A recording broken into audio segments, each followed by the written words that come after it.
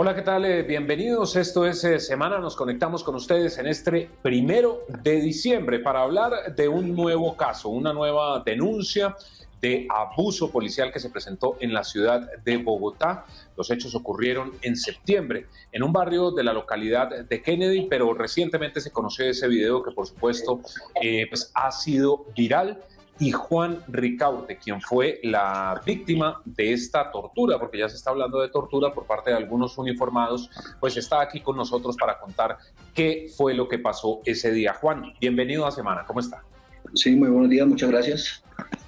Bueno, Juan, empecemos a hablar de qué fue lo que pasó. Remontémonos a ese septiembre porque pues en el video, que es lamentable, por supuesto lo que se ve allí, se ve solamente es el momento en que los policías están encima suyo, lo están ahorcando, otro poniéndole eh, la pierna en el cuello, eh, una persona, una mujer que está ahí suplicando para que lo suelten a usted.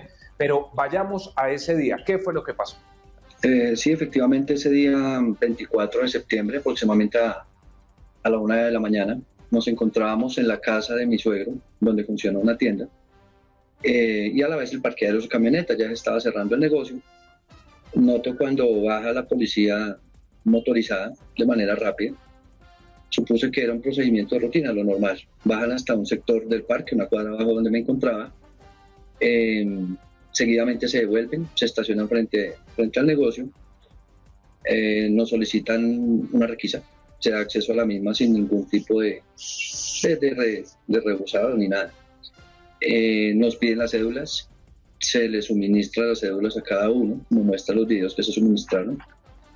Posterior a eso, uno de los uniformados ingresa al establecimiento, esculca, sin previa autorización, y en uno de los entrepaños de los congeladores yo mantengo mi arma automática, mantenía mi arma automática, eh, la cual uso como mecanismo de defensa teniendo en cuenta la seguridad, la cual, y tiene todos los documentos al día, asimismo carnet de tiro deportivo, el cual iba practicando.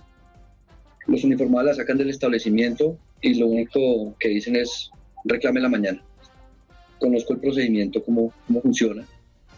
Por ende, saco mi celular, inicio a grabar y les digo que me lo suministren algún tipo de comparendo o acta de incauto. Asimismo les señalo, como muestran los videos, eh, que hay cámaras en el sector, las cuales están registrando los hechos sucedidos. Esto enfurece a los uniformados, al punto que uno de estos me toma por el cuello. Yo levanto mis manos, como se puede ver, eh, no me rehuso, no pongo resistencia, no agredo, nada. Me tiran al piso, me golpean, me esposan, eh, se pierden unos elementos en ese, en, ese, proceder, me conducen por vía pública. En vía pública yo tengo una enfermedad respiratoria, la cual depende de un aparato para poder dormir en las noches. Por ende me quedo de pie, pero este uniformado el mismo vuelve y me, me toma por el cuello, me tira al piso, me pone su rodilla al punto de cortar mi respiración, que es el video de los cuales ustedes hacen alusión. Mm, después de esto, soy conducido a la URI de Kennedy. Em, allí me esposan en una escalera, de pie. No me permiten el uso del baño ni llamadas telefónicas. Me da pena decirlo, pero me obligan a, hacer mis, a orinarme los pantalones. Sí. Qué pena. Juan, sí, no, no, no. Eh, Juan, quiero, eh, digamos, hacer claridad acá sobre varias cosas sobre este relato que nos están haciendo y que sin duda, pues es lamentable que una persona tenga que pasar por esto. Eh, usted nos dice que ellos entran al lugar y toman esta arma traumática. ¿Por qué ingresan al lugar? Eh, un policía para poder ingresar debe tener alguna orden, ¿no? Exactamente. Por lo mismo yo accedo a sacar mi celular, conozco la norma. No viene al caso y quiero dejar claro eh, que todo el procedimiento que he hecho ante las autoridades competentes, no quiero usar ningún tipo de investidura ni como funcionario del INPE, llevo toda mi vida, más de 23 años en esto, ni como abogado, yo soy abogado pero no usé mi investidura en ningún momento para ello. Al ver el procedimiento, procedo a grabarlo, lógico. Usted está, está ingresando a una propiedad privada la cual no cuenta con autorización menos para explicar.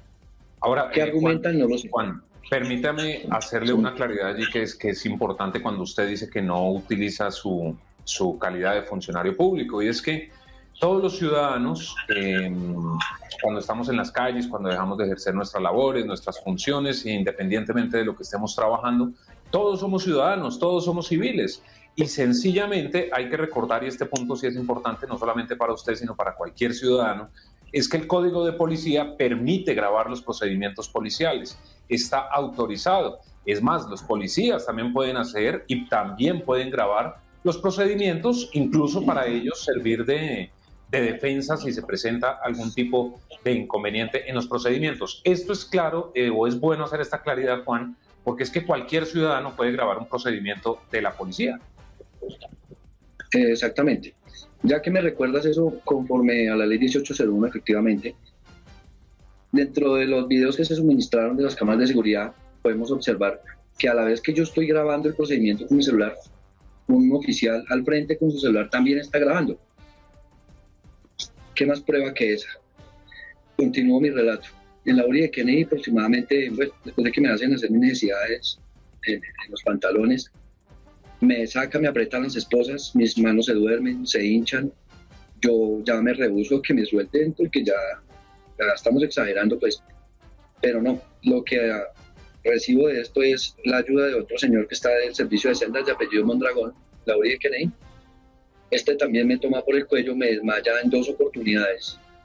Allí en el sitio donde sucedieron estos hechos hay unas cámaras que pude observar, en lo cual ya se peticionó para conseguir los registros de las mismas. Me expresan de que me van, perdón la expresión, que me van a embalar, me presentan con la cédula de Gerley Molano, que es mi suegro, me señalan de violencia contra el servidor público, expresan cosas como que eso es para que no se me olvide que nosotros somos los dueños de las calles, literal, es así. Yo nunca les dije que trabajan así, yo soy funcionario público, pero pues traté de quedarme como, como callado para no complicar la, cuestión. No sé qué más se me quiera preguntar. Claro, Juan, mire, eh, por supuesto acá tenemos que preguntar todas las versiones, ya la Policía Nacional respondió a este caso y usted acaba de mencionar algo que ellos dicen.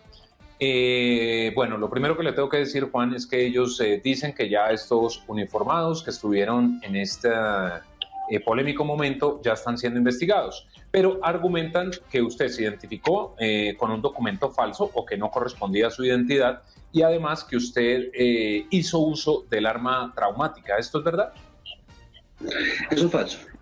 Eh, como, como lo manifestó ayer en las redes sociales un señor coronel, con el debido respeto se lo digo, y lo controvertí en, los medios, hay que ir más allá de un informe de policía, porque es que el informe de policía es acomodado. Yo no tengo por qué, siendo un funcionario público, identificarme, teniendo una profesión, teniendo todo, exigiendo la devolución de mi arma, tengo por qué identificarme con cédulas que no son.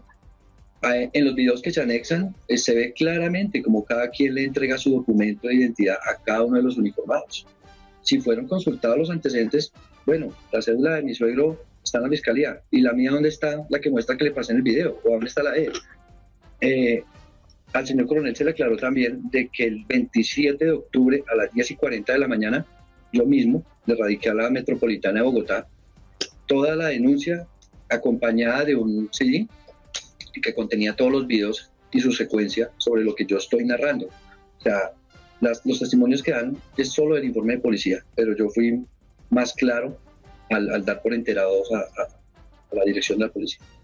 Si le entiendo bien, Juan, por supuesto para no malinterpretarlo, esa confusión con las cédulas y el supuesto uso del arma traumática, eh, tal vez fue eh, algo que fabricaron los policías para crear unos presuntos eh, delitos en su contra. Sí, yo lo veo desde ese punto, teniendo en cuenta que ya supongo yo, supongo yo, no quiero que se malinterprete, no me quedé callado, grabé el procedimiento y no permití que se llevaran porque es que son mis cosas. Yo las adquirí de manera legal y tienen sus permisos. Supongo que pensaron que se podían llevar mis cosas así y no iba a pasar nada. Pero lo que vieron que ya el escándalo agrandó y agrandó y agrandó, pues supongo que la única salida fue, pues, presentémoslo con la cédula del otro, digamos que nos pegó. Y ya, pero si ustedes los videos, estoy en todo momento esposado, desde que llega sube mis brazos, no pongo resistencia. En la segunda golpiza que me propinan, sí trato de zafarme, de, tratar de defenderme, pero no, no, me superan en número, estoy enganchado pues con las esposas. Y lo que vi en la URI es otra cosa que, Solo yo sé qué pasó y los videos cuando salgan. ¿Qué pasó en la URI, Juan? Porque desafortunadamente eh, su caso recuerda algo que pasó con eh, Javier Ordóñez, que acá afortunadamente eh, podemos estar hablando, escuchar las versiones de lo que pasó, pero con lo ocurrido se recordó ese episodio de Javier Ordóñez, en donde lo golpean en la calle, lo llevan a un CAI, lo terminan de golpear allí y minutos después, ya en la madrugada, fallece. ¿Usted en algún momento, Juan, eh, sintió temor por su vida, también dijo, bueno, como decimos coloquialmente, hasta aquí llegué.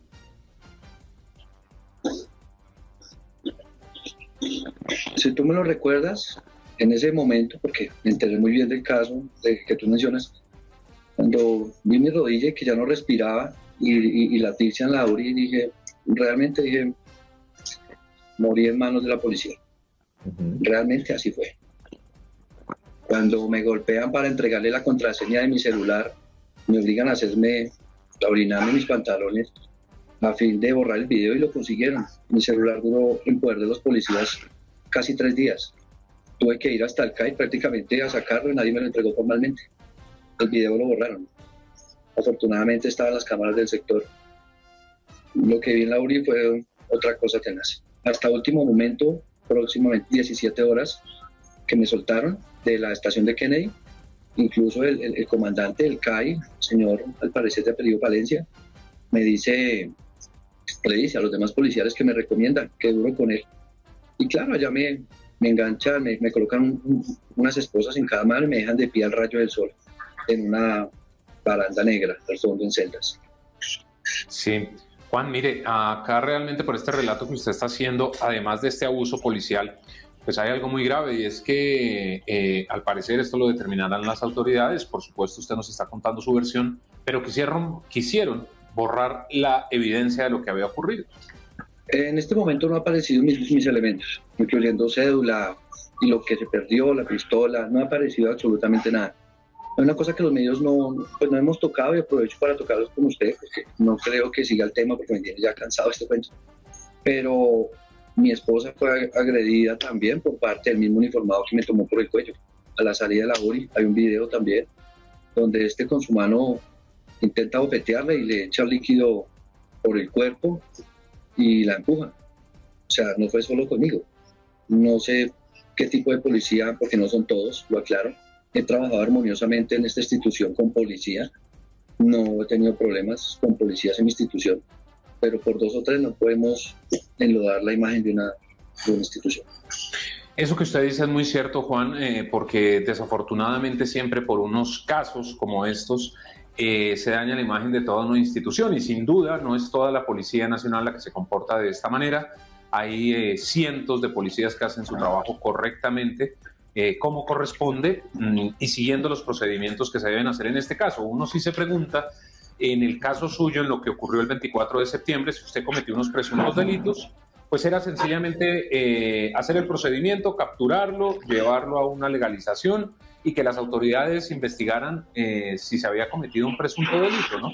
Esto sumado a que usted como ciudadano tiene derecho a grabar el procedimiento. Juan, ¿en qué va a parar todo esto? ¿Usted hizo ya las denuncias eh, formales sobre el caso? Ya usted nos estaba contando que ha elevado unas peticiones y todo. A la MEVOC, eh, Procuraduría, Fiscalía, a otro ente investigador que ha estado muy acucioso desde la policía, me ha estado llamando y está, pues, muy juicioso con su tarea. Espero que esto no se repita. Espero que estas personas sigan enlodando la imagen de la institución. No quiero ser exagerado y no lo voy a hacer porque solo yo lo viví. Pude haber terminado muerto y yo tengo oficio. La verdad es así y esperar que se haga justicia. Juan, en la revisión de medicina legal, la incapacidad que le dieron, eh, ¿por cuántos días fue y qué dictaminaron eh, allí? No he tenido acceso claro, pero sé que son siete días. Actualmente estoy en controles, mis manos siguen dormidas, son los dedos, por la presión de las esposas, al igual que un hombro, pues por la torcedura. Ya los moretones del cuello y todo que que hay registros fotográficos ya, pues, ya pasaron, pues porque ya pasaron tempito. Lo que más temo yo, y, aprovecho, lo dudé para hacer este tipo de entrevistas, igual que los medios, pero pues me decidí para, ver si esto sirve de algo, ¿no? En mi vida.